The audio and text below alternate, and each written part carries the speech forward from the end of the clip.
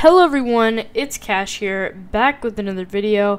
Today I'm going to teach you how to control filtering enabled in Roblox Studio.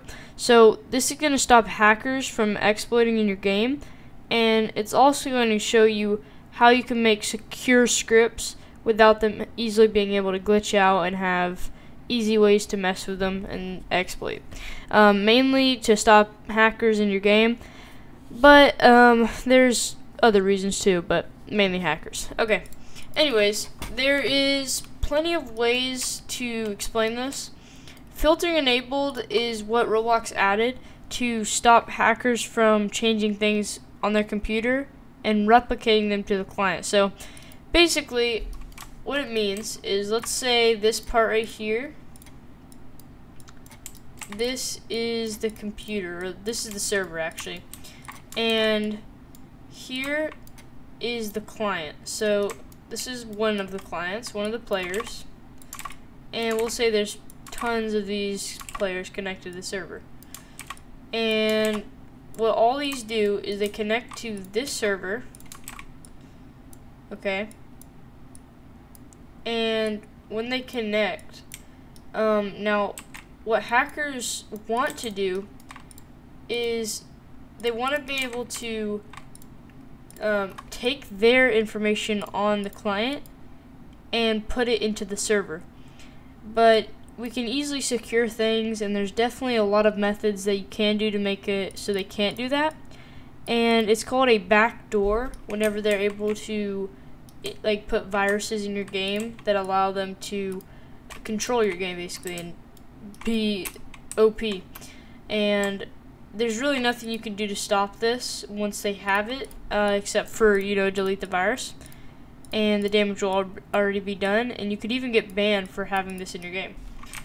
Um, even though it's not even your fault. Um, but basically, here's what filtering enable does. So, anything on the server can't be accessed by the client, and anything on the client can't be accessed to the server. So they're basically their own things. But then, so if we remove this, this is the client, this is the server.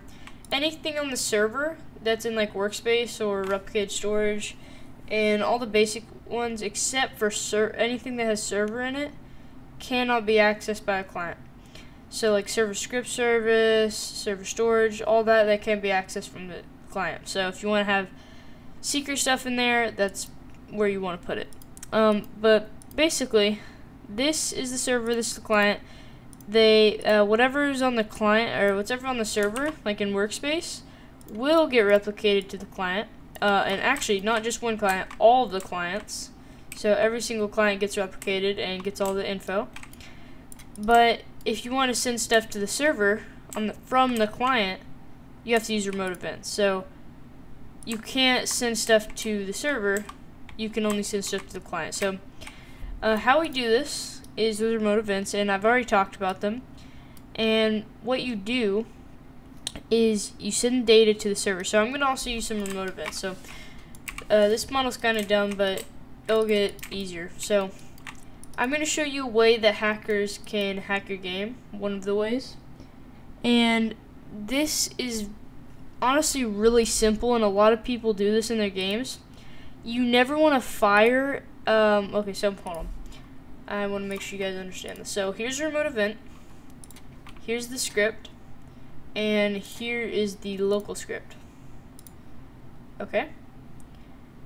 And in this script, we're going to do local remote. So we're going to set the remote event. And we're going to do uh, game.players.player connect function instance.new uh, folder, player. Oops. So what I'm going to do is just create a basic leader stats thing. So local leader stats equals that. Leader stats name equals leader stats. Local money equals instance.new. Int value player money.name equals money. And actually I'm going to put this into leader stats. Okay. And then we're going to do remote dot OnServerEvent connect function player and then money. Okay. Now, this is what you never, ever, ever want to do. So, you never want to fire money from the server or from the client. Uh, and I'm going to show you what we're going to do here. We're going to do game storage remote event fire server. And I'm just going to do uh, 100. So, what you could do here is a lot of people think, okay, well, we want them to buy something, and it's going to be neg it's going to be a $100, so we make that negative, okay? And what we do is we just do player dot leader stats dot money dot value minus equals money, right? And actually make this 100 because we're subtracting it. So what this is going to do is if we check leader stats, so it says it took a $100 away from us, right? What you could do if you're an exploiter is just go game.apk storage event, fire server, and since it's subtracting the money, if you know basic integers, um, a negative plus a negative, or a negative plus another negative equals a positive. So if we put negative values and we put like negative a million, as you can see, we just have infinite money now. And uh, if we go on the server and check this out, yeah, we actually do have the money. So there's nothing you can really do at this point except reset the money. So you never want to fire important values from the client. You only want to keep them on the server with tables such as local shop prices equals this. And then what you could do is fire the item instead and then do um, player.money dot value minus equals shop prices item. Okay.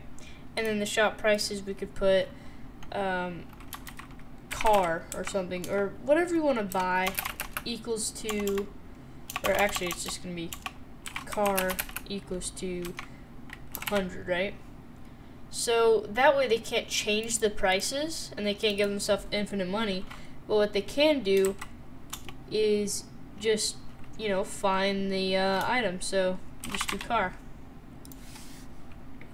And we'll see that.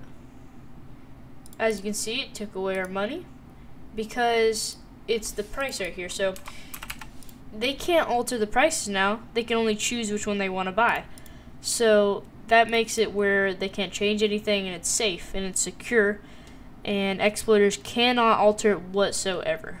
The only thing they can alter is which one they want to buy and that's what the regular player does anyway so you know um, there's other ways to make filtering enabled possible like uh, one thing that exploiters hate is when you use remote functions because what you do with remote functions is you're not firing, you're not sending, you're not really sending data to the server.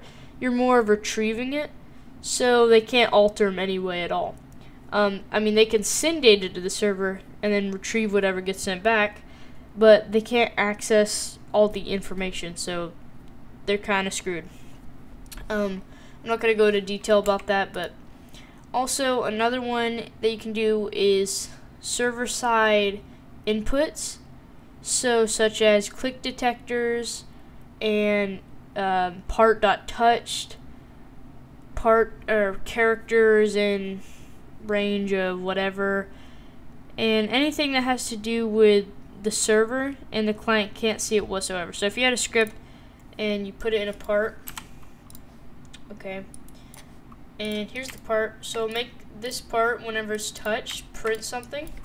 So do script.parent.touched, connect function, hit, and we'll do if game.players get player from character, oops, get player from character head dot parent. So if it's a player, which we're the only player, so uh, we're to do print game. Dot or actually, we'll just do head dot parent dot name. Okay, so that's to print out our name whenever we touch it. But here's the thing, on the client, uh, you actually would not be able to see this if you're an exploiter. exploiters cannot see this, and they won't be able to know what it does. They can't alter it in any way, and they can't do anything with it. So if you touch it, it just says our name, but you can do anything you want with this. And you can even add debounces and stuff to make sure that exploiters really can't do anything with it.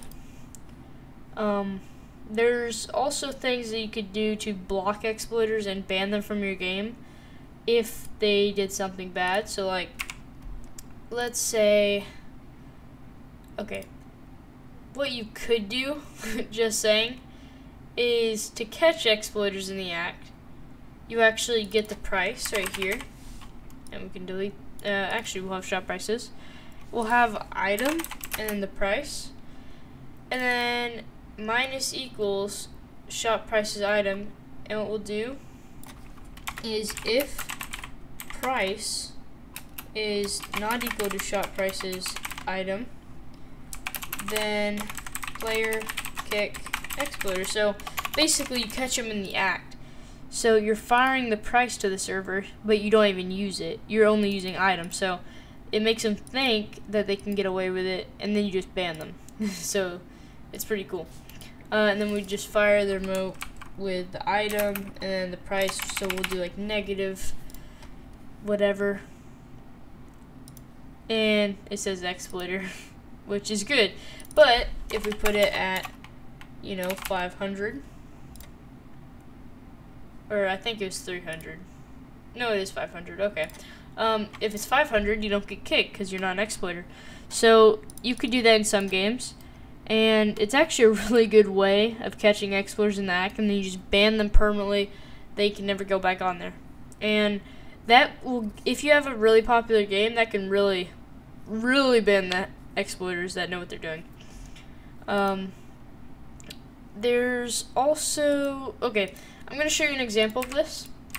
So you can't damage or change any variables of another player on your client. So if we just go find a zombie, right, spawn this guy in here, and I'm just going to anchor him so he can't move. Um, what we're to do here is we're to kill the zombie on the client. So an exploiter would think they're funny or they think they're smart or something like that. And they would go to the zombie and they would change the health to zero and they'd be like, oh, I killed him. And if you go to the server, the zombie's perfectly fine, right? However, if you wanted to kill your your own character uh, on your client, you can do that. So if you just put health zero, go on the server, you'd you'd be dead because you can change you can change things about your own character, but not like not too much. Like you can only change your humanoid and that's it. And but you can't change some stuff like rig type and all that because if you change on the client, right, it's not even gonna spawn you in. I don't think. And go back to R15 and then it spawns you in. But you can't do that on the server, I'm pretty sure and then we just reset or whatever. Or actually, um, yeah, it still doesn't work.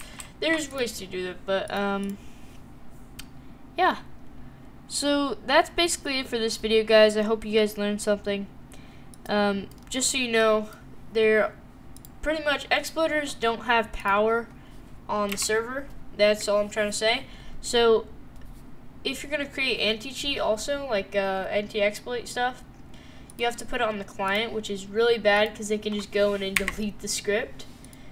And if they do that, then, you know, your anti-cheat's gone. But you could do stuff like uh, invoking the client and getting all the children of whatever. There's sneaky ways around it so exploiters can't do it, but no matter what, they can always just delete the anti-cheat, which is pretty bad. But um, there are a bunch of server-side anti-exploits that you can do, like the one I showed you earlier, but anyways, yep, that's all for this video. If you have questions, join my Discord server. I have a Roblox group, which I don't think a lot of you guys know, but I create games on there. And I'm not going to link any scripts or anything because, you know, this is just um, how to basic info stuff. But Anyways, I'll see you guys in the next video. Peace.